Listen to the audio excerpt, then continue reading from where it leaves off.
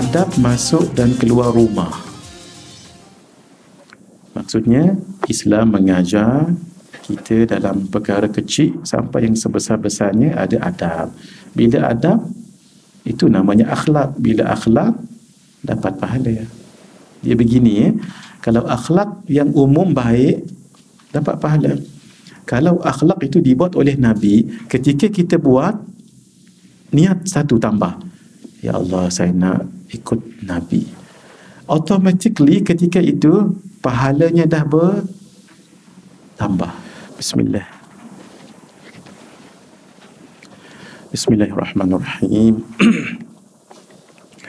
Alhamdulillahi Rabbil Alamin Wassalatu wassalamu ala ashrafil anbiya wal mursalin Wa ala alihi wa sahbihi ajma'in. اللهم افتح علينا حكمتك وانشر علينا من خزائن رحمتك يا أرحم الراحمين. ربي اشرح لنا صدورنا ويسر لنا أمورنا واحلل عقدة من ألسنتنا يفقه أقوالنا. ولا حول ولا قوة إلا بالله العلي العظيم.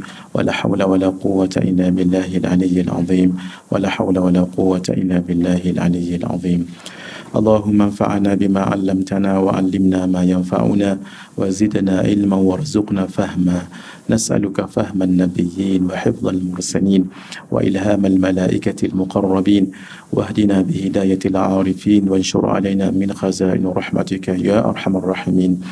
صلى الله على سيدنا محمد وعلى آله وصحبه أجمعين. والحمد لله رب العالمين.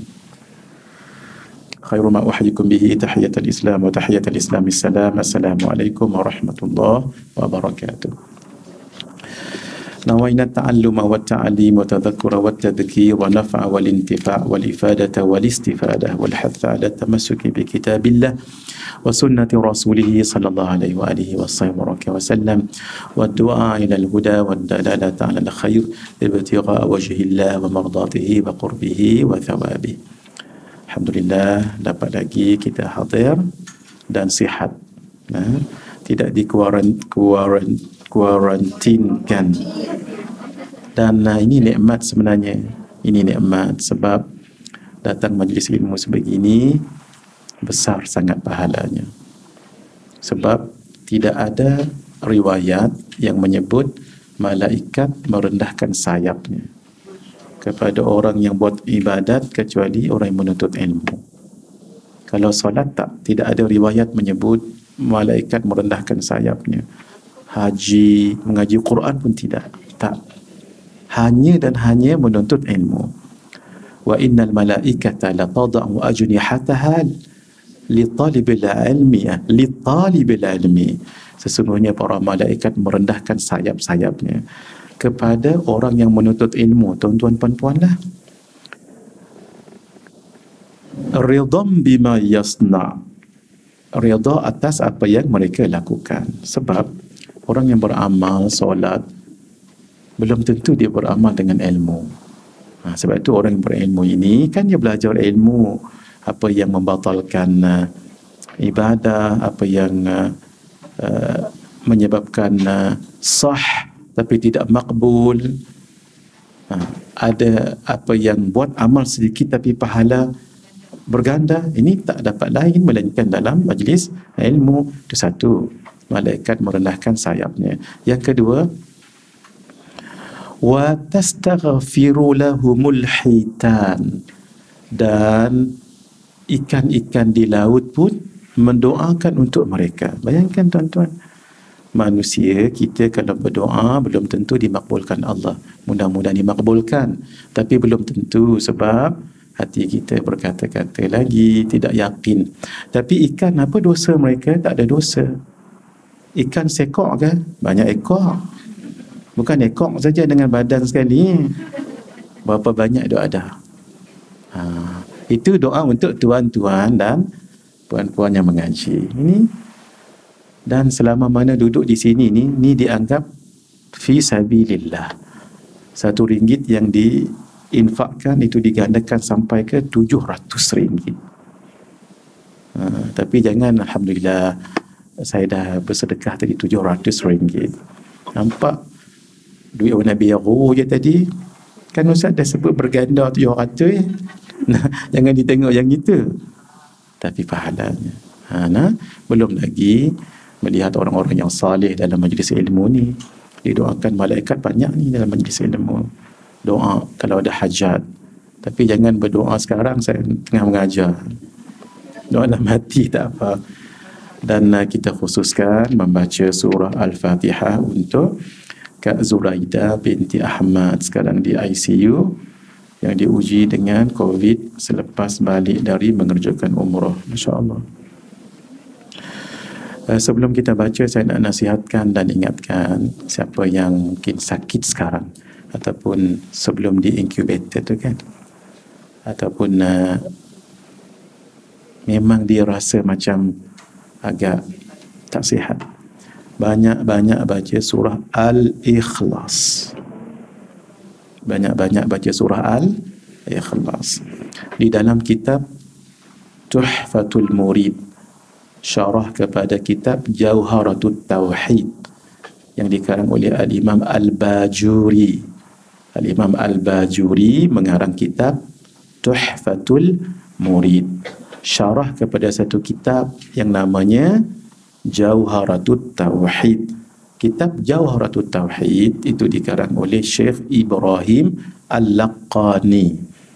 Jadi beliau syarahkan nama kitab itu Tuhfatul Murid beliau sebut Imam Al-Bajuri sebut empat amalan kalau dilakukan satu memudahkan urusan soal jawab dalam kubur sebab dalam kubur ada soal jawab senang susah lembut kasar ha, tu kita nak dapat yang baik-baik yang kedua insya-Allah mudah diselamatkan Allah diberikan keselamatan daripada siksa kubur. Empat amalan ini. Apa dia? Khasiat dia tadi memudahkan urusan soal jawab dan diselamatkan daripada siksa kubur ataupun fitnah kubur. Satu, membaca surah Al-Mulk setiap malam. Yang kedua, membaca surah As-Sajadah setiap malam. Ketiga, ketika sakit dan sakit itu bawa pada kematiannya, lalu dia dapat menghabiskan kul huwallahu ahad banyak. Dalam kitab kata tiga. Ada yang kata lebih daripada itu. Baik lebih daripada itu. Ya baca banyak-banyak. Dan yang terakhir, ini special. Dia lakukan solat dua rakaat antara maghrib dan isya pada malam Jumaat. Malam Jumaat maksudnya hari Khamis malam Jumaat. Jangan hari Jumaat malam Sabtu. Itu dah lain dah tu. Hari Khamis malam Jumaat. Between maghrib dengan isya. Ambillah masa solat dua rakaat. Lafaz niatnya usalli sunnatal semula usalli sunnatan ha, jangan sebut sunnatal sunnatan bagi tanwin usalli sunnatan raka'ataini lillahi ta'ala kalau tak hafal niat sahaja sahaja aku sembahyang sunat dua rakaat kerana Allah ta'ala. Di kedua-dua rakaat membaca surah Az-Zalzalah 15 kali. Idza zulzilatil ardu zil zalaha. Tak hafal letak Quran di depan boleh. Hmm. tak pun tampal depan pun boleh juga. Kalau pegang macam ni boleh juga tapi kadang-kadang uh, takut kita tak macam serius pegang ni boleh ambil handphone pegang ni boleh. Tapi takut nanti tengah baca ni ni ni ni ah satu hal lagi. Baik letak kat situ lah nampak keseriusan dia tu. Itulah empat amalan yang insya Allah mudah urusan soal jawab dalam kubur dan diselamatkan daripada siksa kubur ataupun fitnah kubur. Nanti kita baca uh, bagi tahu Kak Zuraidah nanti Kak Ajah ya banyak-banyak baca surah Al Al apa tadi kita sebut? Al-Ikhlas. Kita yang tak kena lagi ni buatlah amalan-amalan. Apa dia amalan kita? Bismillahilladzi la yadurru ma'asmihi syai'un fil ardi wala fis sama' Alhamdulillah lah tu. Tuan-tuan saya tahu sini banyak rajin beramal ni. Ni muka-muka ni rajin beramal ni. Hmm. Tambah satu lagi. Salamun. Qawlam. Min Rabbir. Rahim apa? Macam mana Kak Ajah tahu ya? Dahsyatlah. Betul. Betul. 28 kali bermakna Kak Ajah beramal yang lain beramal juga. Tapi tak ingat banyak sangat dia amal tak ingat. Mana sangat. Kalau Kak Ajah hawa bukan ribu-ribu juta-juta. Salawat Alhamdulillah suka saya dengar. Ha, Masya Allah biar berjuta-juta salawat. Berjuta-juta. Tambah lagi mereka ada grup. Campur-campur berjuta-juta seronok saya dengar. Ya, biar. Nanti ketika baca iyyaka na'budu wa iyyaka nasta'in, in tu panjangkan sikit khusus ya Allah bagi kesembuhan pada Kak Zuraida. Sebab di sini kan nama khusus beliau. Uh, satu lagi kita uh, umumkan jugalah dan siapa-siapa yang sakit juga. Ha, bila sebut iyyaka na'budu wa iyyaka nasta'in, uh, terbayangkan muka uh, tak payah muka nama Kak Zuraida. Ini namanya apa ni? Tawajjuh Ha, tulis sikit supaya tahu. Ini namanya apa? Tawajjuh. Bila tawajjuh, ha, kita lebih fokus. Bila fokus ada serius. Bila serius kita minta sungguh-sungguh pada Allah tak main-main. Ha, itu antara rahsia kemujaraban sesuatu amalan ataupun doa. Sama-sama ya. Ala hadhihi niyya wa ala kulli niyatin salihah. Al-Fatihah. A'udzu billahi minasyaitonir rajim. بسم الله الرحمن الرحيم الحمد لله رب العالمين الرحمن الرحيم مالك يوم الدين إياك نعبد وإياك نستعين اهدنا الصراط المستقيم صراط الذين أنعمت عليهم غير المغضوب عليهم ولا الضالين mudah-mudahan jangan lupa dah baca Salamun qawlam min Rabbir Rahim 28 kali setiap hari. Ini amalan khusus ketika wabak. Wabak ta'un ke kolera ke wah, apa ni covid ni omicron yang sekarang ni. Bismillahirrahmanirrahim. Kita pada adab yang keberapa? Sebelas. Itu penting dulu adab yang nombornya tu. Sebelas. Adab masuk dan keluar rumah. Betul? Nombor berapa Kak Azhar? Baru nak masuk. Bismillahirrahmanirrahim. Adab masuk dan keluar rumah. Maksudnya, Islam mengajar kita dalam perkara kecil sampai yang sebesar-besarnya ada adab. Bila adab, itu namanya akhlak. Bila akhlak, dapat pahala. Dia begini, ya. kalau akhlak yang umum baik, dapat pahala kalau akhlak itu dibuat oleh Nabi ketika kita buat niat satu tambah ya Allah saya nak ikut Nabi automatically ketika itu pahalanya dah bertambah. Pahalanya seperti satu mati syahid. Saya ambil satu contoh mudah. Pakai cincin sunnah Nabi kan? Ha, memakai cincin sunnah Nabi. Ketika saya pakai cincin dan saya berniat ikut sunnah Nabi, situ dah pahala besar. Dan dalam sunnah Nabi ada pendetailan lagi.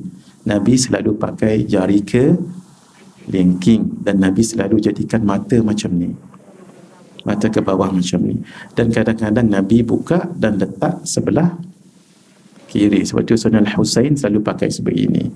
Ada sebab mungkin Nabi makan. Ni kan ada kuah dan sebagainya nanti kan masuk ke sini ha, gitu tapi selalunya Nabi akan pakai sebelah ini dan dia terlangkupkan sebegini tak ada tawaduk tapi kalau muslimat tak muslimat pakai macam biasa tangan ni pun boleh. Nabi pakai juga tangan ni tapi selalunya tangan kanan ke linking ini bila saya berniat begitu oh, pahalanya makin bertambah-tambah. Tengok itu ah, pentingnya belajar ilmu. Di antara adab-adab ketika akan masuk rumah rumah. Kenapa disebut di antara? Sebab banyak sangat adabnya tu. Ini yang sempat ditulis oleh pengarang kitab guru mulia kita Syekh Al-Habib Muhammad Ibn Amin Muhammad Amin Ibn Aidrus Al-Husaini. Masih hidup. Orang yang muda lagi. Dulu saya pernah melahirkan hasrat nak bawa beliau kat sini.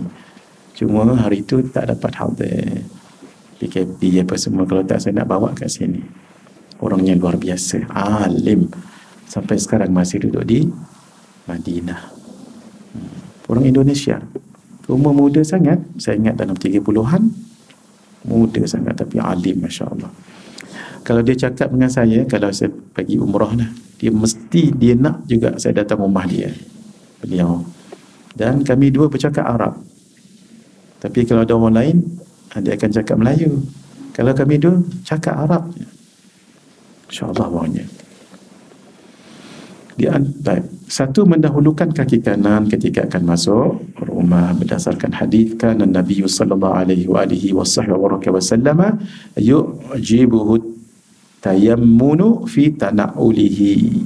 Sesungguhnya Nabi sallallahu alaihi wasallam menyenangi maksud Nabi suka untuk memulakan dengan sebelah kanan. Bila tu? Tanaulihi tanaul naal. Naal ni maksudnya sandal termasuk kasut pakai sandal kaki kanan wa tarajulihi tarajul ni maksudnya menyikat rambut sebelah kanan wa tuhurihi berwuduk kanan wa fi sya'ni kullihi dan pada semua keadaannya. Pakai slipper sebelah kanan ataupun kasut. Hence, kalau masuk surau ataupun masjid, jangan jadikan muncung kasut tu masuk dalam masjid. Jangan. Macam mana? Macam yang tadi suka saya tengok. Dekat luar tu ya. Ha, dah lama belajar, praktikan suka saya tengok. Semua semua ketak tadi tak ingat. Sebab saya datang sini bukan nak check slipper. Tapi kebanyakannya tadi cantik. Masya Allah bagus sekali. Nak amal sunnah lah tu. Kenapa bila kita letak muncung di luar di luar sana bukan dalam nanti masing-masing keluar apa yang dibuat? Kita amal sunnah ni. Pakai kasut ataupun slipper dengan tak dengan tak kaki kanan macam mana caranya Betul. Ha, ni dah maksudnya dah faham dah ni. Slipper tadi kan. Ha, kaki kiri pijak slipper kiri. Kalau slipper tu dah lama. Ha, kalau dah baru macam mana? Jangan pijak slipper orang. Jangan. Pijak tepinya tu. Pijak tepi. Ha, baru masuk kasut. Kanan. Baru masuk kaki. Melangkah kaki. Ha, gitu. Ha, bagus tu tanda belajar tu. Dan kalau ada orang masuk muncung sini kita yang atur. Niat ya Allah saya atur ni mudahan nampak bersih nampak kemas. Yang kedua mudah-mudahan orang dapat amal sunnah Nabi. Pahala dapat kat kita juga. Hmm. menyisir rambut. Walaupun rambut kita tak ikal maya terpacak macam ni tapi ambil sikap kanan dulu ni sini kanan satu, dua, tiga. Bau kiri. Satu, dua, tiga. Walau tak ada rambut. Dia sedap. dia sedap sisir tu. Ataupun dia guna sisir ya. Kami Sarawak guna sisir. Sini pakai apa? Sisir juga. Bukan sikat ke? Ha. Sebab itu orang Arab sebut sikat misht. Al-misht. Ha? Sisir juga. Oh lah kita, super kita. Saya dah ingat sisi ni bahasa Sarawak saja. Ah, sisi sisi itu ataupun sikat tu namanya misht. Sebab itu perempuan yang kerjanya menyisir, menyikat rambut anak Firaun dipanggil Masyitah. Masyitah tu sebenarnya bukan nama beliau. Bukan. Ah, misht, misht itu adalah sikat rambut. Jadi Masyitah jadi ta marbutah tu perempuan. Jadi perempuan yang menyikat rambut. Nama sebenarnya wallahu alam. Wallahu alam. Nah, tapi dia berasal dari perkataan misht. Ha gitu. Bismillahirrahmanirrahim. Itu sunnah Nabi itu. Masya Allah. Dan lain-lain. Dulu saya pakai jam tangan sebelah kanan, sebelah kiri dulu. Mana jam tangan saya? Eh, Subhanallah. Bawa tadi tu. Supaya hati tenang cari dulu ya. Eh. Subhanallah. Mudah-mudahan dalam kereta ya. Eh.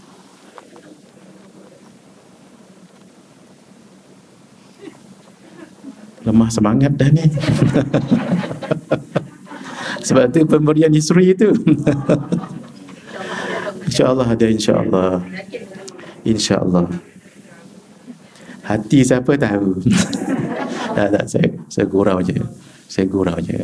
Ada tak ada? Kita dah usaha cari kan? Ha, insyaAllah ada tu. Yakin dengan kata-kata Kak Ajah Salwa beliau berkat. Sebab apa? Beliau banyak mengurus hal-hal pengajian ni. Nampak biasa je. Tapi beliau semua orang datang kat sini semua dapat pahala kat beliau. Tak tak jealous kita. Ni ni jealous bagus maksud saya ni sebab Nabi sebut Nabi sebut man dalla ala khairin kafa'ilihi siapa yang menunjukkan orang lain buat kebaikan dia dapat pahala. Wala yanqusu min ujurihim syai. Tak sedikit pun pahala dikurangi. Tengok apa ramai datang hari ini. Belum lagi yang melihat melalui makhluk-makhluk ini. Maksud saya kamera-kamera ini. Ha, nampak macam biasa. Tapi yang mengurus tu lebih lagi ha, gitu. Maksudnya berlumba-lumba buat kebaikan ya. Berlumba-lumba berbuat kebaikan. Fastabiqul khairat. Masing-masing Kak Ajuh Halwa ada ada habuannya saya begitu juga tuan-tuan pun begitu juga. Tuan-tuan dapat pahala juga ni. Kenapa?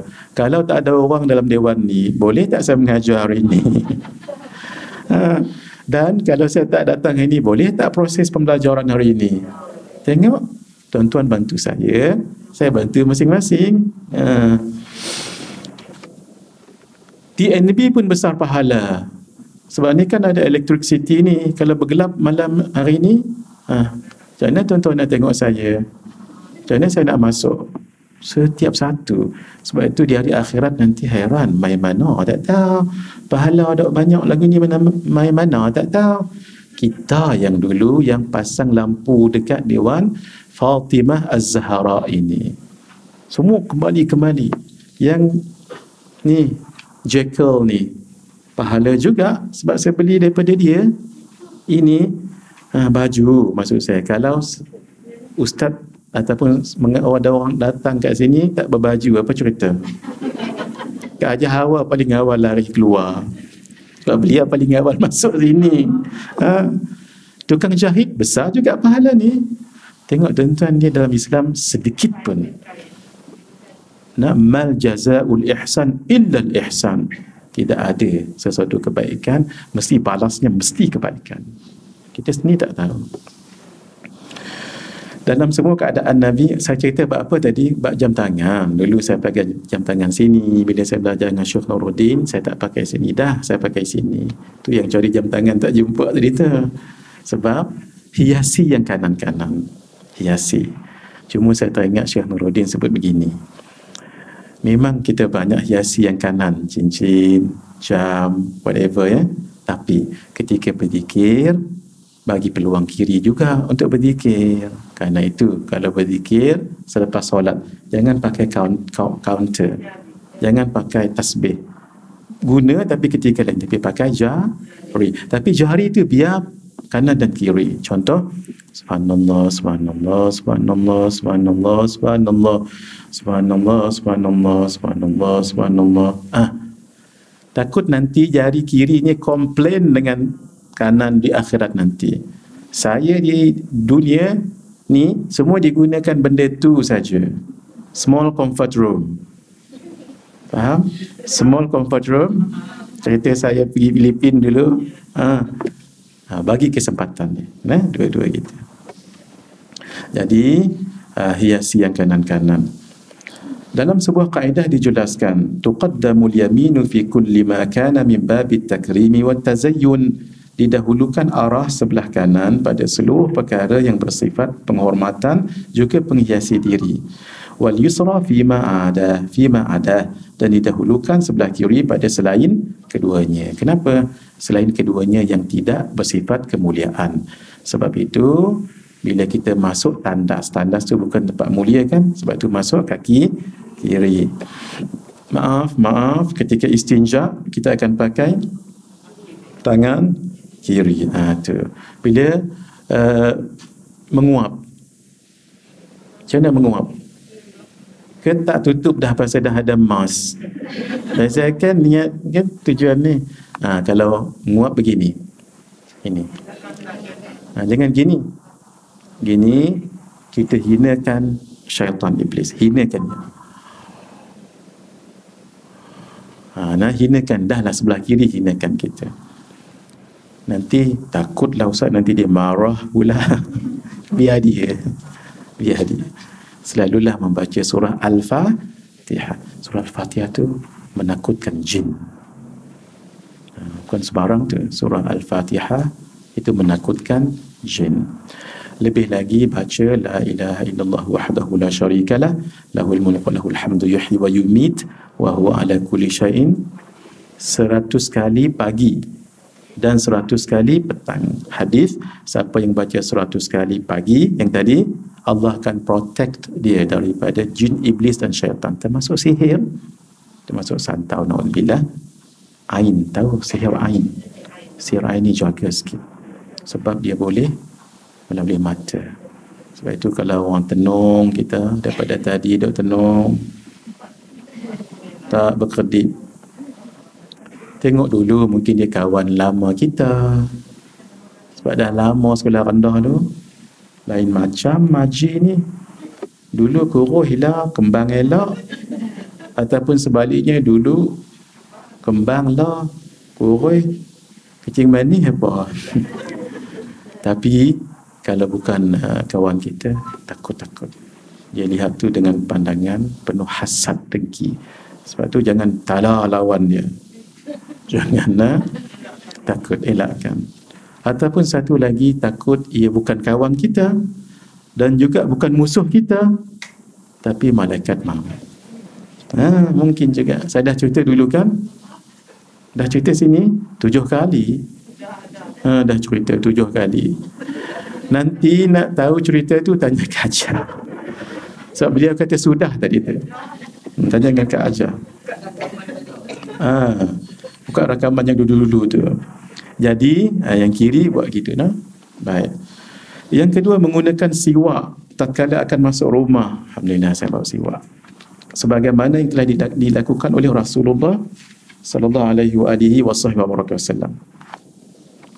Ini namanya siwak. Ha? Oh, ni janganlah tak ada juga. Ni kalau tak ada ni rasa something missing lah. Ini namanya siwak. Sebab dia kecil dia jadi mungkin tadi. Ini namanya siwak. Saya dah sebut dahulu siwak paling bagus. Lebih besar daripada jari kelingking. Jari kelingking dan kecil sikit daripada ibu. Jari dan panjangnya satu jengkal. Ini namanya satu jengkal. Dan cara pegangnya macam ni. Buat bulu-bulu kat sini. Dengan dua cara. Sama ada kita gigit kalau gigi kuat, tak pun ambil tukul, jangan kuat sangat. Ha, ketika pukul tu, biar dia dalam keadaan kering. Kalau keadaan basah lagi dia pecah. Tapi bila nak pakai nanti, bubuh air sikit. Biar ini buat sikit, buat gini. Dan caranya ialah, ada tiga cara. Cara paling senang. Ini letak di atas, gigi atas, tengah, pusing sahaja pusing bawa ke kanan turun ke bawah bawa ke kiri ujung naik atas ni ni buat gitu. Satu dua tiga. Tiga cukup. Ini kalau tak expert. Kalau yang expert begini dia nombor lapan duduk. Nombor lapan dia berdiri kan? Bagi dia duduk. Ha, terbaring. Dia lagu ni. Ini tak atas bawa ujung kanan. Turun bawah bawa kiri tapi tengah. Kiri tengah. Naik atas. Bawa ke kiri. Saya kiri lah Kak Ajah tengok saya kanan kan? Ha. kiri turun bawah. Bawa ke kanan. Nombor 8 buat tiga kali. Saya tunjuk ya kamera jangan zoom. Satu dua tiga. Pusing je Yang tadi senang sangat. Yang mula-mula tadi pusing je. Satu, dua, tiga. Itu namanya siwak. Tapi untuk gigi, dia kena dia kena urdan. Urdan ni kita buat gitu. Jangan tulang-tulang begini. Apa istilah tu ya? Ni, kalau begini nanti kena gusi di berdarah. Satu kita buat gini, kita lebarkan gini. Jangan setiap ni buat gini jangan. Nanti dia berdarah. Siwak ini bukan hanya untuk gigi je. Kalau gigi tadi urdan gitu ya, juga untuk lelangit dan lidah. Kalau langit begini, jangan di urdan nanti dia sakit, tulan, tarik je. Satu, dua, tiga. Bila kita buat gini, ada rasa geli. Itu normal namanya. Sebab itu ketika dalam kitab Bulughul Maram ketika Nabi bersiwak akan bunyi Jangan buat-buat dia sendiri. Dia sebab dia geli. Cuba lidah, cuba tanya, cuba guess, gosok ke atas, cuba. Ha, rasa tak ke ajar? InsyaAllah ha? InsyaAllah ke ajar normal. Sungguh-sungguh. sungguh. Saya, saya cerita serius. Hmm. InsyaAllah normal. Kalau tak geli, jaga sungguh saya bukan nak menakutkan ni. Sebab itu kalau orang bagi kita makanan minuman yang tak pasti kalau sama-sama kita tak apa ni tiba-tiba ada orang hantar makanan baca dulu surah Quraisy di ila fi Quraisy ila fi murihlat asyita'i was-sayf. Falyabudu rabb hadzal bait alladhi at'amahum min ju' ulang yang belakang tu ulang tiga kali. Wa amanahum min khauf wa amanahum min khauf wa amanahum min kemudian lidah ni geser ke atas. Rasa geli tak? Ha, kalau geli minumlah tiga gelas tak apa. Tapi kalau tak geli jangan minum. Ha, sebab takut ada benda lain. Walaupun air botol macam ni. Mana minta air lain. Bila air lain baca lagi liila fi quraish. Gosok lagi hilang lagi. Air lain lagi. Tak ada kerja lain minta air je kita. Ini petua. Tolong ingat ni bukan fatwa. Ini petua petua untuk kita sama-sama. Sebab jangan sampai dia masuk dalam badan. Kalau dalam badan agak ni sikit lah. Kita cerita apa tadi ni? Siwak. Ketika masuk dalam rumah macam mana nak gosok gigi? Kalau siwak tak ada dalam Okey, that's why kena. Ha, nah? Memang betul. Mulut akan berbau dalam dua keadaan. Satu, terlalu lama diam.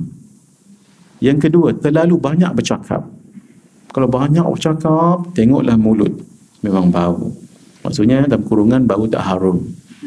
Nah, kalau diam, sebab itu kita tidur lama kan. Cuba buka ha dengan orang. Jangan. Jangan buat. Don't do that anyway, nah, anytime. Don't do that. Menggunakan sifat sudah sebagaimana yang telah dilakukan oleh Rasulullah sallallahu alaihi wasallam ketika beliau akan masuk ke dalam rumahnya Nabi sangat jaga kebersihan. Kana Nabi sallallahu alaihi wa alihi wasallam idza dakhala al-baita jika Nabi wasallam masuk ke dalam rumah bada'a bis-siwak baginda memulakan dengan memakai siwak. Memakai siwak maksudnya pakai bersiwak. Kalau ada berus gigi berus gigi. Tapi itu kurang praktikal sedikit nah. Tapi rather than nothing pakai juga. Itu ada setengah orang pakai ni baju ni. Dan memang ada. Kita je pelik. Baju kita jangan baju orang. Memang sungguh kalau kita nak solat kami lelaki kalau nak solat mengaji siwak tak bawa berus gigi tak bawa contoh. Pakai skrup ni boleh. Lalukan sikit. Yang penting ada isyarat. Tak pun ni memang nampak pelik. Tapi bukan nak gosok setiap gigi dia lalu saja. Ha, gitu. Isyarat. Memperbanyakkan zikir dan mengucapkan salam ketika akan masuk ke dalam rumah walaupun di dalamnya tidak terdapat orang. Dalam Al-Quran Allah menyebut fa idza dakhaltum buyutan fasallimu ala anfusikum tahiyatan min indillahi mubarakatan thayyibah apabila kamu memasuki rumah-rumah maka hendaklah kamu memberi salam pada dirimu sendiri. Salam yang ditetapkan dari sisi Allah yang diberi keberkatan lagi. Baik hadis an Anas bin Malik radhiyallahu taala anhu qala daripada sahabat yang bernama Anas bin Malik radhiyallahu anhu. Ada dua figure nama sama tapi dia terbalik. Satu Sadina Anas bin Malik satu Sadina Malik bin uh, sahabat Nabi namanya Anas bin Malik. Ketika sampai di Madinah mak beliau bernama Ummu Sulaim. Bawa beliau besar adik ni. Nah sembilan tahun. Ya Rasulullah ni Anas. Saya nak jadikan uh, dia khadam tuan. Lalu Salina Anas jadi khadam Nabi 10 tahun. Bermaksud 9 tahun campur 10 berapa? 19 tahun kan? Waktu tu Nabi wafat. Salina Anas bin Malik. Lalu mak dia datang. Ya Rasulullah doakan Anas ini. Nabi doakan. Allahumma akthir amwalahu wa waladahu. Ya Allah, ada empat doa Nabi ya. Ya Allah panjangkan uh, Allahumma atil umrahu wa akthir amwalahu wa waladahu Ya Allah, naam zuriat. Ya Allah, panjangkan umur Anas, banyakkan anak-anak dan hartanya dan berkatilah ilmunya. Semua makbul. Ini doa Nabi. Sebab tu bila jumpa orang alim, so dia doa anak kita. Tak tahu yang mana satu nanti yang lekat. Siapa yang bawa anaknya kepada orang alim, pasti keturunannya akan jadi orang alim. Kalau tidak anak itu, mungkin cucunya. Kalau tak cucunya, mungkin cicitnya. Kalau tak, mungkin ha, pasti ada, pasti ada. Itu keberkatan. Sebab setiap orang tu ada keberkatan masing-masing. Ya? Sebab dia dulu pun pernah jumpa dengan gurunya, pernah jumpa gurunya. Ha, itu keberkatan dia kongsikan. Umur beliau 100 lebih tahun. Sayyidina Anas bin Malik. Anak beliau lebih 100 orang. Of course bukan seorang isteri ya. Kemudian kebun beliau, kurma beliau di Madinah berbuah dua kali. Setahun di ketika orang lain berbuah satu kali. Dan ilmunya Masya Allah. Ilmunya Masya Allah. Ada satu amalan, tapi yang ini tak boleh kongsi secara online. Mudah-mudahan terbuka hati orang yang bercakap ni untuk kongsi pada yang lain. Doa lah, doa nanti. Hmm. Tapi bukan hari ini ni. Doa ni ke ajar? InsyaAllah. Cerita dulu, cerita. Tuan-tuan dan puan-puan tahu kan figure yang namanya yang namanya Hajjaj ibn Yusuf al-Thaqafi. Ingat? Dalam pemerintahan Abbasiyah, bukan Muawiyah Abbasiyah, zaman-zaman terkemudian yang disebut sebagai orang kata khalifah juga tapi dia lebih macam orang penguasa lah. Dan terkenal dengan kezaliman kata sebahagian kitab. Namanya Hajjaj Ibn Yusuf Al-Thaqafi tulis Hajjaj pun dah cukup. Kalau dalam Google Live Hajjaj memang terkenal. Orang yang agak bengis zalim malah membunuh pun ada juga. Itu, itu sudut yang negatif sudut yang positif banyak juga. Satu ketika Sayyidina Anas umur panjang kan didoakan Nabi tadi tu memang sempat berjumpa dengan beliau. Dan berlaku something yang Hajjaj ini nak denda Anas. Sampai beliau kata begini wahai Anas kalaulah saya tak tahu yang kamu pernah menjadi pembantu Nabi siap kamu. Itu bahasanya kalau siap tu tahu-tahulah. Kata Salina Anas, wahai Hajjaj, kamu takkan dapat buat apa-apa padaku. Sebab Nabi ajarkan aku satu doa, siapa yang bacanya, insya-Allah selamat. Hajjaj yang tadi bengi-bengi saja tu turun dia punya ton suara. Wahai Anas, ajaklah saya. Nah, tadi tu Wahai Anas, ajaklah saya. Sayyidina Anas mengatakan, kamu bukan orang yang layak. Ha, tengok bahasanya. Kamu bukan orang yang layak untuk menerima doa ini. Sedihlah dia. Dia tak berani nak mengapa-apakan sebab ni kan sahabat Nabi dan pernah jadi uh, pembantu Nabi. Tapi beliau ni bijak juga. Disuruhnya dua orang anaknya belajar dengan Sayyidina Anas. Sambil bawa bukan anak hajjaj hmm? Sambil bawa uncang dalam tu ada dirham-dirham ada dinar. Sambil-sambil kamu belajar dia pesan pada dua ni kamu bagilah dinar ni dirham ni. Tanya-tanyalah doa tu. Doa yang tadi tu. Datang kedua tu belajar macam biasa. Kemudian sampai empat wahai tuan guru boleh tak ajar doa yang pernah diajar oleh Nabi dulu yang siapa pun tak akan boleh mencederukan mengapa-apakan sampai membacanya. Tengok bahasa Salina Anas. Kamu dua belum tiba masanya.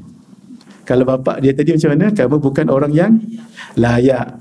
Ini belum tiba masanya. Finally, beliau bagi juga.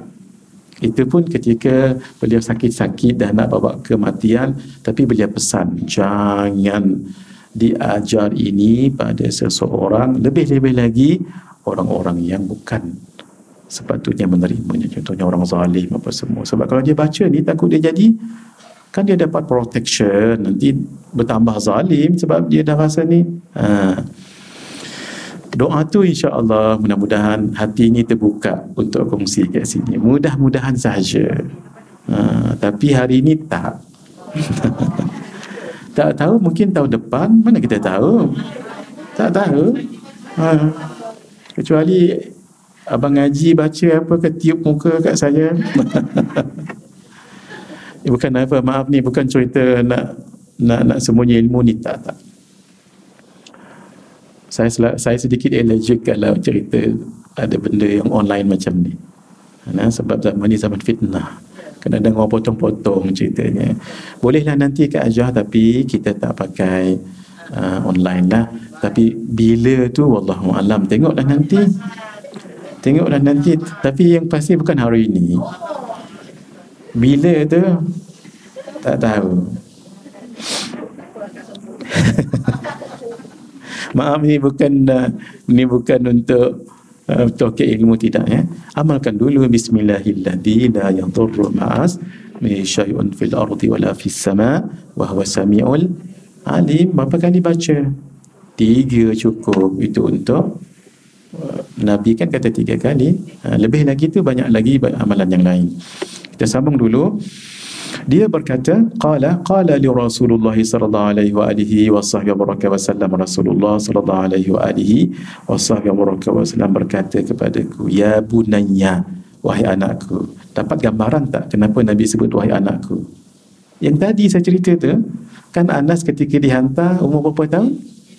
Ha, still young, too young even. Sembilan tahun. Sebab tu dia panggil ya bunay. Ya, dia boleh dipanggil begini. Kalau kita panggil anak dalam bahasa Arab ya ibni ha, itu yang umum. Ya ibni. Tapi kalau panggil ya bunayya beza. Kalau ya ibni oh my son. Kalau ya bunayya oh my beloved son. Ha, dia beza kita.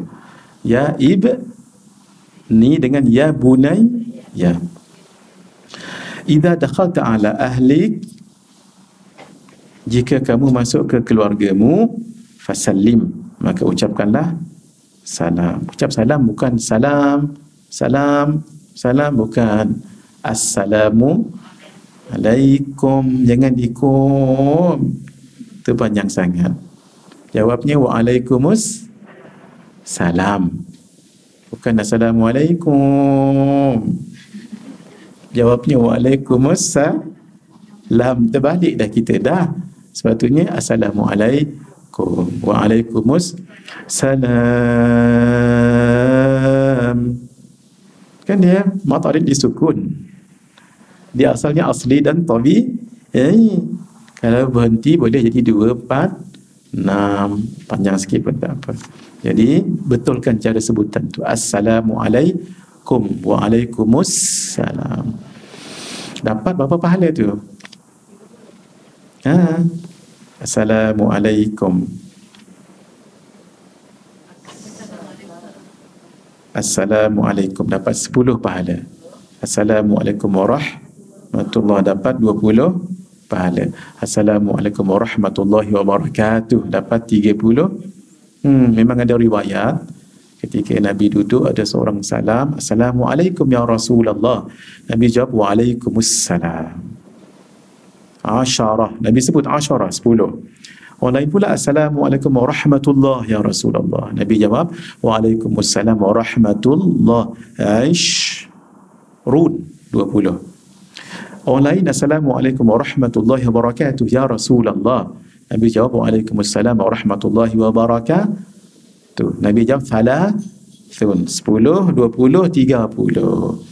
Sahabat pun tanya Ya Rasulullah pasal apa sebut lagu tu Rasulullah kata lagu mana dia salam Begitu saya jawab dan begitu dia dapat pahala. Ha, ikut panjang tadi tu. Tapi paling panjang cukup yang itu. Assalamualaikum warahmatullahi wabarakatuh cukup. Tak perlu tambah Assalamualaikum warahmatullahi wabarakatuh wa maghfiratuhu wa ridwanuhu wa wa wa wa. Ha, cukup lah. Cukup di situ.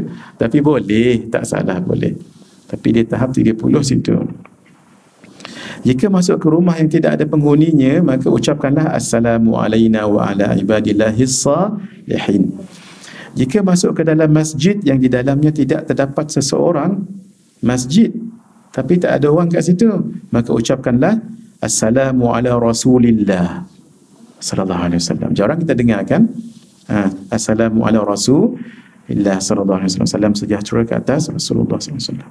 Di dalam kitab Syifa, Asy-Syifa maksudnya kitab dikarang oleh Al-Imam Qadhi Ayat. Alhamdulillah saya sempat ziarah kubur beliau. Di Morocco, Marrakesh ya. Di Indonesia ada wali sembilan, wali songo. Kalau di Morocco ada wali tujuh, wali tujuh, wali tujuh. Itu saya sempat enam. Satu tak sempat sebab agak berebut sikit. Nah, itu namanya wali, itu maksudnya wali terkenal. Wali masyhur. Ada satu lagi wali mastur tu yang takut kita tu wali mastur. Ingat cerita Piramli Mastura? Ha, mastur maksudnya yang tertutup. Dia wali. Tapi orang tak kenal dia wali sebab dia garang. Allah tutupkan kewalian dia dengan kegarangan gitu. Ataupun pelik. Pelik perangai dia pelik. Sampai orang maaf ya, orang kata dia tu crazy. Majnun. Tapi dia wali. Sebab dia tak nak orang tahu dia tu wali. Nah, ditutup oleh Allah tu namanya mas apa tadi? Mastur. Wali yang masyhur apa tu? Masyhur. Yang tidak masyhur mas tu mastur tu yang kita takut. Kerana pakaian dia macam biasa je. Tapi kalau dia doa, masya-Allah. Tu wali tu sebab itu kalau ada 40 orang salih berkumpul satu tempat, ha, jaga jaga. 40 orang. Jaga jaga. Tapi bila ditanya orang, eh lebih 40 orang ni, siapa wali ni ya? ha, bukan wali lah tu. wali tak akan mengaku dia wali. Ha, kadang-kadang teruskan dulu. Qala al-Imam an-Nakhai berkata Imam An-Nakhai idza lam yakun fil masjid ahadun kalau dalam masjid tak ada seorang pun faqul maka katakanlah assalamu ala rasulillah. Salam sejahtera ke atas Rasulullah sallallahu alaihi wasallam. Ini ada tak dalam kitab tuan-tuan? Tak ada kan? Ha, jadi kitab ni sebenarnya baru. Saya lupa lagi nak suruh dia hadir yang ni kitab ni saya tak jual tapi ada orang yang tolong jual lupa suruh dia datang hari ni Tolong doakan ingat bulan depan ni. Hmm. Ni ni terbaru. Dulu kan saya saya pakai yang kecil tu kat aja. Yang simpis kan ni. Ha, ni paling terbaru sekarang. Hmm. Tapi tak ada dijual di belakang tak ada sebab yang jual ni pun tak datang hari ni. Hmm. Di kedai pun tak jual ni sebab katanya guru kami tak izinkan ni dijual di kedai-kedai. Maksudnya special ni. Yang mengajar ni pun di Malaysia tak ramai yang mengajar ni di Malaysia tak ramai. Tak tahu kenapa beliau Tuan Guru kami agak tegas sikit bab ni. Jadi antara yang mengajarnya saya lah dalam Malaysia ni. Uh, tak ramai yang mengajar ni kitab ni. Wa idza lam yakun saya terjemah uh, begitu saja ni tak ada terjemah juga sini pun. Wa idza lam yakun fil mas fil baiti ahadun kalau di rumah tak ada seorang pun faqul assalamu alayna wa ala ibadillahi salihin baik nombor empat membaca doa berikut ini ketika masuk rumah. Ini sebenarnya banyak tambahan daripada yang asal tapi still hampir sama juga. Ketika masuk rumah baca yang ini. Saya lupa kita berhenti pukul berapa sebelah setengah eh? hmm. jam yang lupa, yang lupa tadi. Jam tu betul tak? Jam sekarang kau berapa? 11.27 InsyaAllah. Bismillahirrahmanirrahim. Sikit lagi nak? Membaca doa berikut ini ketika masuk rumah. Allahumma inni. Ada terjemahan tak ke ajah kitab? Ada terjemahan? Allahumma inni as'aluka khairal maulaj tak ada kan? Ha. Saya pun tak ada juga ni. Saya terjemah randomly saja ya. Allahumma inni as'aluka khairal maulaj wa khairal makhraj. Ya Allah, aku mohon padamu sebaik-baik tempat masuk dan sebaik-baik tempat keluar. Bismillahi walajna dengan nama Allah kami masuk wa bismillahi dan dengan nama Allah kami keluar wa alallahi rabbina tawakkalna dan kepada Allah Tuhan kami kami bertawakal assalamu alayna min rabbina tahiyatan min indillahi mubarakatan thayyibah Salam sejahtera ke atas kami daripada Tuhan kami dengan suatu penghormatan. Salam daripada Allah yang penuh barakah dan baik. Masya Allah. Apa yang dikehendaki oleh Allah. La quwata illa billah. Tiada kekuatan melainkan dengan Allah. Sambung lagi doa bawah tu. Alhamdulillahilladzi kafani wa awani panjang juga doa ni ya. Ni ni kita nak masuk rumah nak keluar rumah ni. Nak masuk kan doa panjang, tak masuk-masuk dia buatnya. Bila nak masuk rumah, baca apa? Ha, itu dah ada beli buku ni tak? Ada kan? Nah, nanti siapa ada buku ni, bila masuk rumah,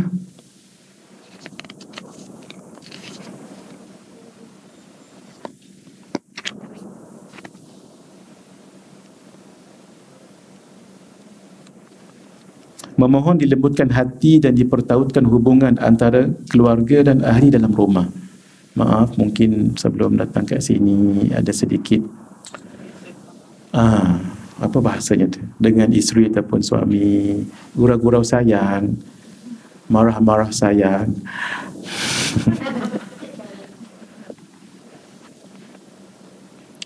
gurau-gurau sayang ya?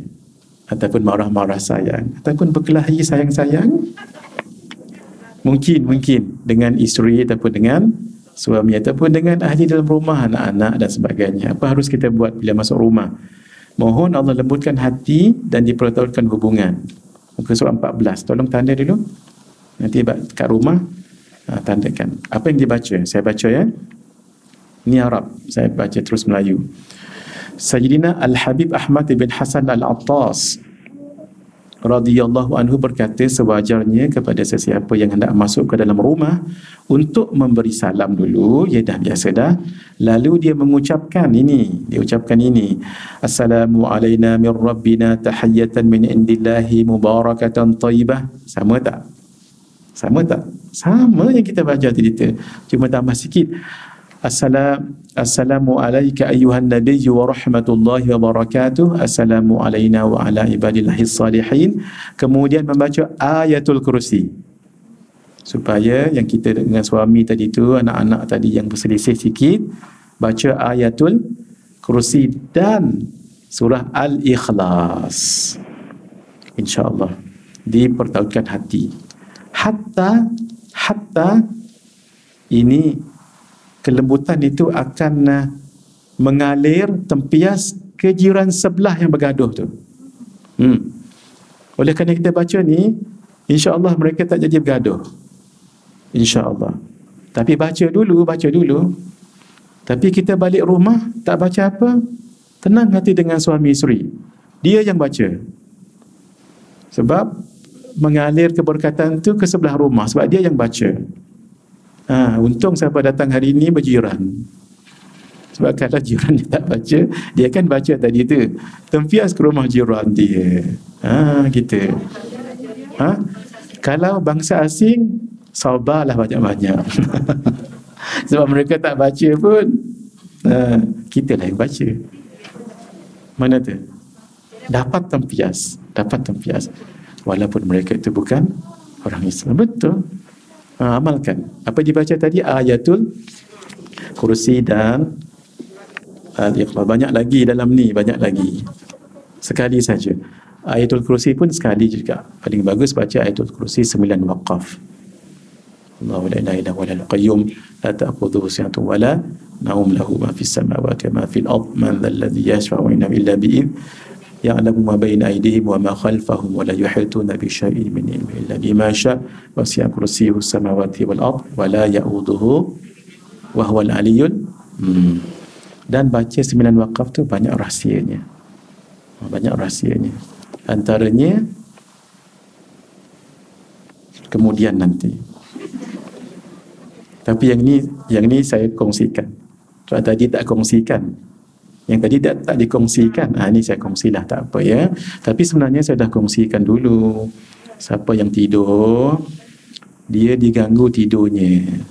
Kadang-kadang perasaannya tak tenteram. Tengok orang lah tengok bayang-bayang lah. Sebelum tidur. Ketika tidur mimpi yang pelik-pelik. Maaf ya sampai bagi rain. Sebab selalu sangat bangkit.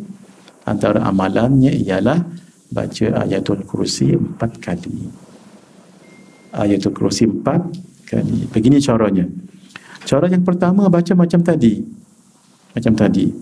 Baca cara yang kedua baca macam tadi tapi ketika sampai wala yauduhu wala yauduhu wala yauduhu hifadhuhuma wa huwa al-aliyyul azim. Macam tu caranya. Sudah. Yang kedua ulang pula tapi daripada mula macam tadi sampai wala ya'udhuhu ni ulang tiga kali tanpa bernafas. Ambil panjang sikit lah. Saya bagi contoh.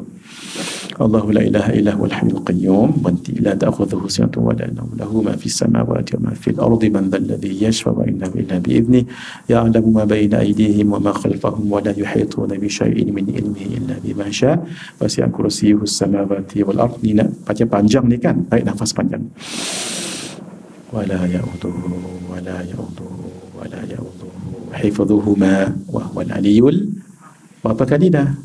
Dua baca tiga kali macam tu juga. Boleh? Saya ijazahkannya semua mengamalkannya kalau menghadapi masalah gitu. Kalau tak menghadapi masalah pun elok juga baca. Baca berapa kali tadi? Empat. Empat kali. Yang kali pertama baca biasa. Biasa. Yang kedua, tiga, empat tu diulang. Tiga kali wala ya'udhuhu jangan bernafas. Wala ya'udhuhu wala ya'udhuhu wala ya'udhuhu hifadhuhuma ha, maulah wa huwa al-aliyul azim. Baik last.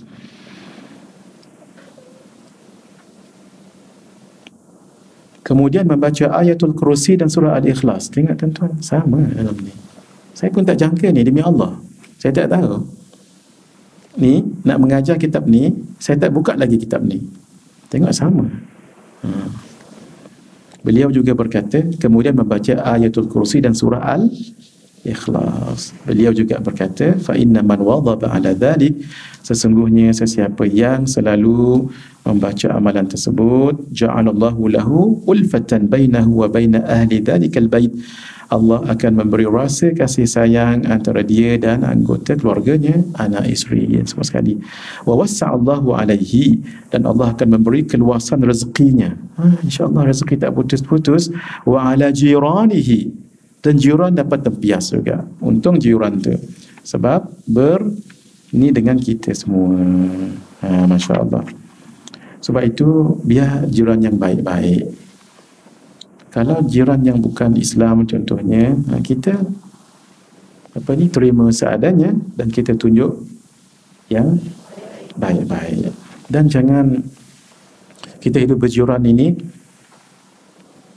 contoh kita hidup dengan sebelah dengan orang yang agak berharta jiran kita itu Nah, kita tidak. Jangan jealous dengan orang. Syukur Allah bagi apa yang ada dekat kita ni. Dalam keadaan begini dapat tuan-tuan dapat mengaji macam ni. Dapat saya mengajar. Kalau lebih-lebih takut sibuk menguruskan harta benda. Ha, tapi ketika Allah uji dengan harta melimpah ruah sebegitu, syukur juga. Ha, tengok dapat harta, syukur. Tidak, jangan jealous kat orang. Perang tabuk. Perang tabuk. Perang tabuk itu 700 km daripada bumi Madinah. Nabi kata kita akan pergi. Satu, dalam keadaan yang sangat jauh 700 km. Dua, cuaca yang sangat panas. Tiga, memang keadaan payah sedikit ketika itu. Ketika Nabi di atas mimbar. Nabi buat motivation. Kita akan perang tabuk. Berperang di tabuk. Jadi siapa-siapa nak infak, silalah. Siapa nak bagi uh, apa-apa sumbangan, silalah. Seorang tak ada. Seorang tak angkat tangan. Akhirnya, Sayyidina Uthman bin Affan angkat tangan. Ya Rasulullah, insyaAllah, Ana akan sediakan seratus ekor unta ataupun kuda. Seratus ekor kuda. Siap dengan pelana, siap dengan pedang, siap dengan everything. Complete Berapa? Seratus. Berapa harga kuda sekarang? Ini kuda yang bagus ni. Berapa harga sekarang? Ribu juga kan Kak Ajar? Ha, lembu seekor apa lembu? Lima ribu. Ha, sekarang ni kan harga agak mahal. Katalah, katalah. Kuda tu lima ribu. Itu baru kuda.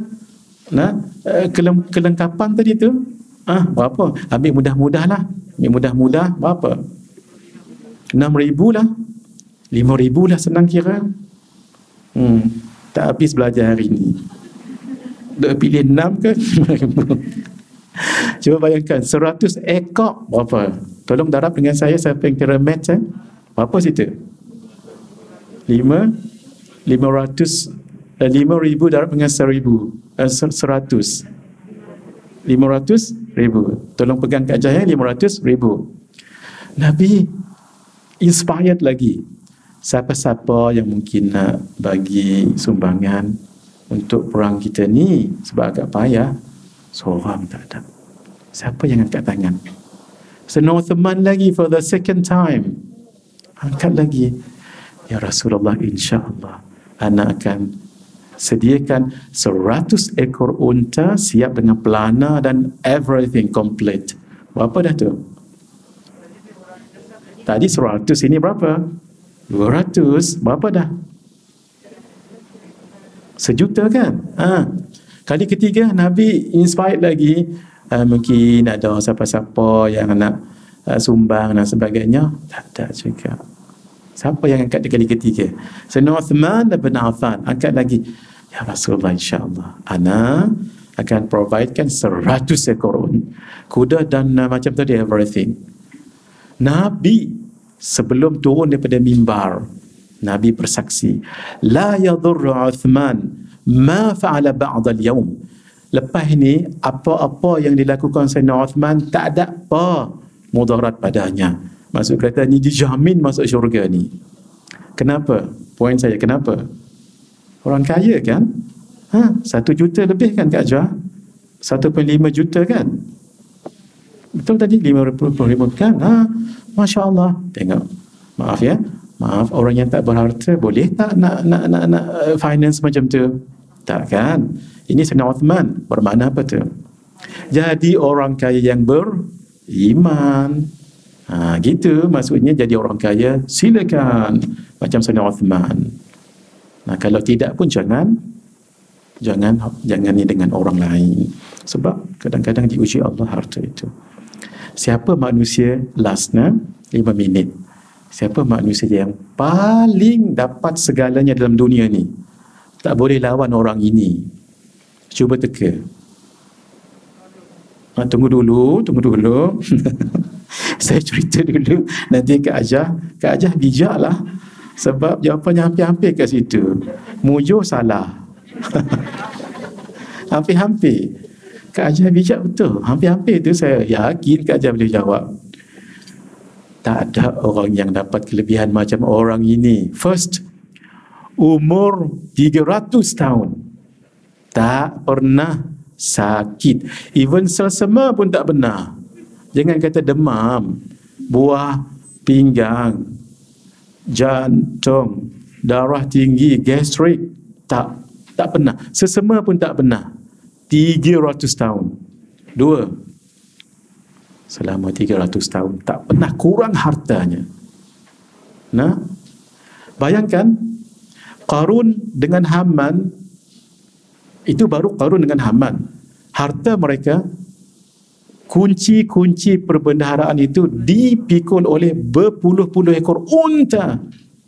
Kunci, bukan perbendaharaan, kunci. Tengok, kalau Qarun dengan Haman begitu kaja, dia lebih lagi. Last. 300 tahun. Stay dekat tampuk pemerintahan tak pernah jatuh-jatuh. Maaf ya, maaf. Dalam dunia pemerintahan ni, maaf ya, kadang-kadang tak sampai setahun. Hang pedon. Tak maaf maaf dah. Tak sampai setahun dua. Step down.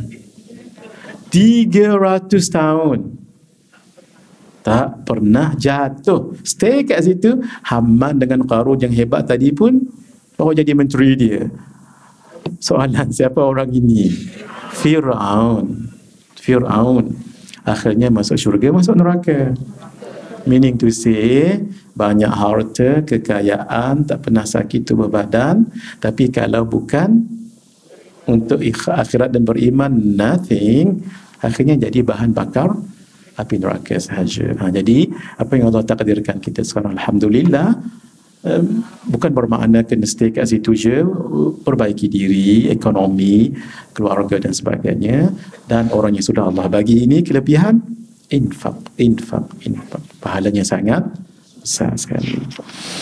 Baik, kita sambung nanti Rasulullah wasallam bersabda, kita sambung pada muka surat 125 insya-Allah. Hadza uh, siapa yang dah beli buku ni ataupun yang belum tapi beli tapi tak sempat datang kat sini uh, sebut saya terimanya sebab saya nak ijazahkan amalan dalam ni. Dalam ni ni macam-macam amalan semuanya berdasarkan Al-Quran ataupun ayat ataupun surah Al Quran. Baik, bismillahirrahmanirrahim. Saya ijazahkan apapun yang ada dalam kitab ini pada tuan-tuan puan-puan yang memilikinya termasuk yang ikut kami secara online. Tolong sebut saya terima. Hmm, qabiltul ijazah. Naam. Hadza wabillahi taufiq wal hidayah. Wassalamualaikum warahmatullahi wabarakatuh. Bismillahirrahmanirrahim. الحمد لله رب العالمين والصلاة والسلام على أشرف الأنبياء والمرسلين وعلى آله وصحبه أجمعين. اللهم اجعلنا من الذين يستمعون القول فيتبعون أحسنه وصلى الله على سيدنا محمد وعلى آله وصحبه أجمعين. والحمد لله رب العالمين بسر الفاتحة. أعوذ بالله